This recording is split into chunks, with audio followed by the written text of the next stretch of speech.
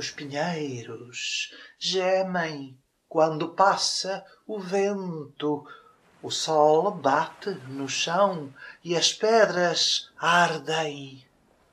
Longe caminham os deuses fantásticos do mar, brancos de sal e brilhantes como peixes pássaros selvagens, de repente atirados contra a luz como pedradas, sobem e morrem no céu verticalmente e o seu corpo é tomado nos espaços.